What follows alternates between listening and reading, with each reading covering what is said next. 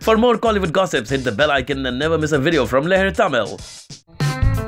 After much speculation of Vidya Balan romancing with Rajni Rajinikanth in his next directed film P. Ranjith, it seems that the actress has finally been chosen for Thalaiva and it is not Vidya.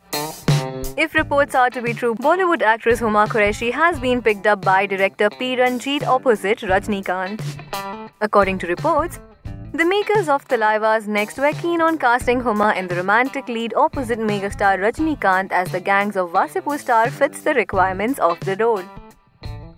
The news of Huma Qureshi opposite Thalaiva came out after Vidya Balan walked out of the film citing date issues. She was considered as the frontrunner for the role. When the Dirty Picture star was asked earlier about her being a part of the project, she had said, We will know in a while. So now, if things have changed, are you excited to see Huma with Rajinikanth?